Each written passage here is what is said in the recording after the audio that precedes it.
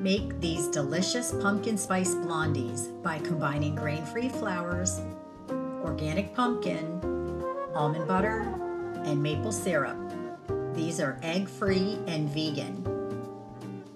Combine the wet ingredients with the dry.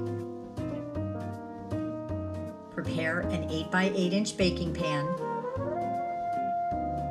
Smooth the top and bake for 20 to 25 minutes turning the pan about halfway through baking.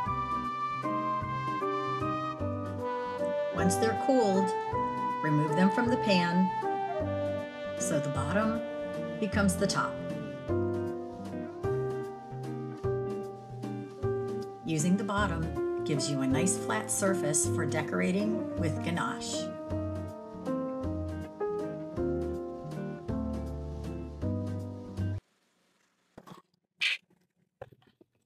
Toast and chop your favorite nuts for added texture and nutrition.